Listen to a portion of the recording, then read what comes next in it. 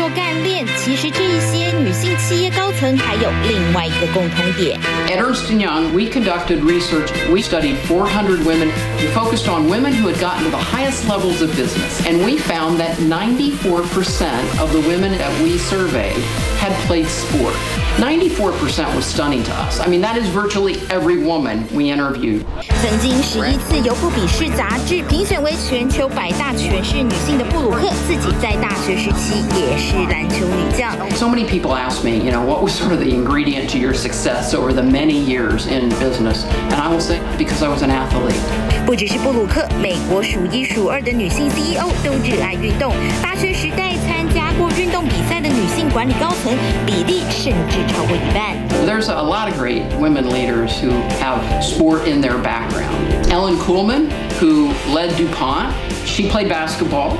Irene Rosenfeld, Kraft, played basketball.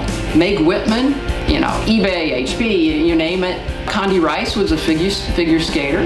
想要在男性主导的管理阶层脱颖而出，这些女性企业家都有不服输的个性，尤其要在几乎只有男性称霸的职业体育界担任高层管理人，更是要有过人的胆识。美国女子职业篮球联赛的主席恩格尔伯特也曾经在大学参加过篮球队，球队经验让她充满自信，培养出不怕挫折的性格。Probably the number one thing I think I took from playing organized team sports was resilience. You get knocked down, you get back up. You know, the old adage, you miss 100% of the shots you don't take. You know, think about that in business and the ability to take risks in your career and working as a team and winning together and losing together, quite frankly. 只是培养出这些杰出人才的大学运动圈，却存在严重的性别歧视。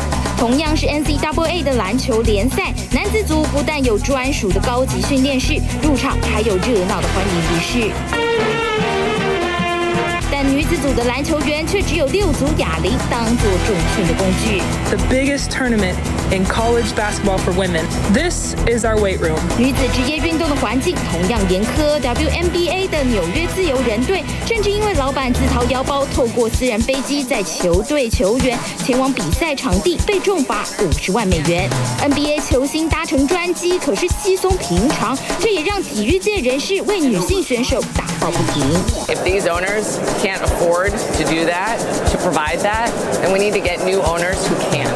And that is continuing to create like ceilings for what women's sports can be. 目前美国职业赛事包括 NBA、NHL 还有 NFL 都没有女性担任总教练或是球团高层，只有 MLB 打破性别的天花板，任命首位华裔女性球团总经理伍佩华。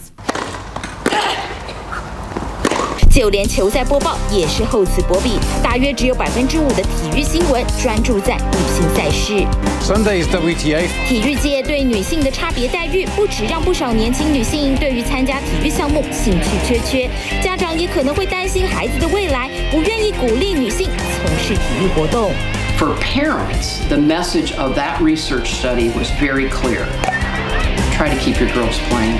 What sports does for women uniquely in terms of confidence is probably the single most important factor for women as compared to men. 布鲁克希望体育界为女性拓展更大的发挥空间，吸引更多年轻女孩参加体育赛事。站在赛场上接受欢呼，才会有越来越多女性发挥特有的才华，站上企业顶端，创造出多元的商业文化。企业新闻综合报道。